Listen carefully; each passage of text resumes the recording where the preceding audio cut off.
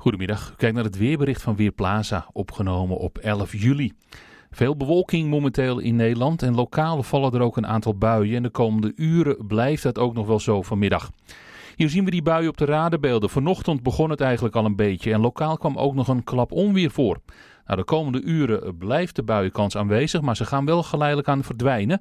En dan krijgen we vanavond te maken met veel regen. In de loop van de avond gaat het namelijk vanuit het zuidwesten regenen. Met behulp van het model zal ik u dat laten zien. Het is misschien even handig om de contouren van Nederland te tekenen. Hier is zo'n beetje de westgrens. En dan hebben we hier het IJsselmeer en hier de kop van Nederland met de eilanden. En ik doe dat eventjes zo, omdat we anders Nederland helemaal niet zien. Omdat er dus uh, ja, heel veel regen gaat uh, vallen.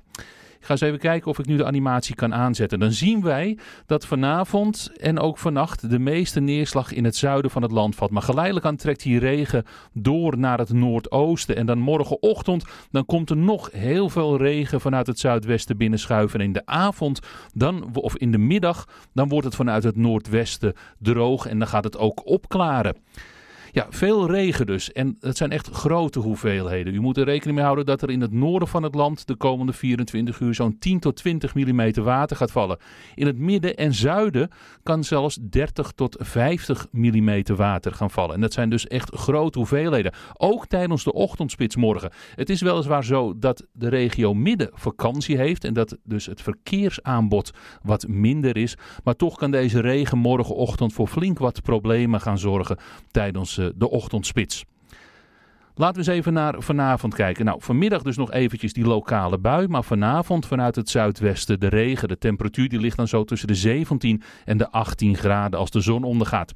De wind die waait uit het westen of zuidwesten en is overwegend matig. En die regen vanuit het zuidwesten die breidt zich dan steeds verder uit in de loop van de avond. En vannacht dan regent het overal. En ook morgenochtend dan regent het overal gestaag. En zoals gezegd, in het midden en zuiden verwachten we de meeste neerslag.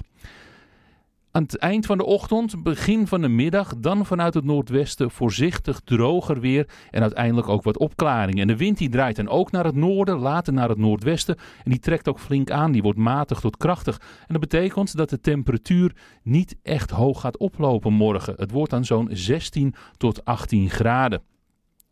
En dan de dagen erna. Nou, die zijn wat wisselend.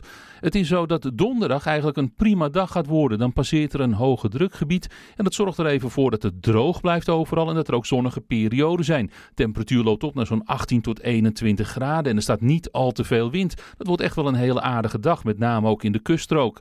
Vrijdag daarentegen, dan passeert er weer een buienstoring. En dat betekent weer wisselvallig weer. Tussen de buien door best wel wat zon maar ook een aantal stevige buien. Qua neerslaghoeveelheden, ik verwacht niet dat er vrijdag zoveel neerslag gaat vallen als de komende 24 uur. De temperatuur ligt vrijdag tussen de 18 en de 22 graden.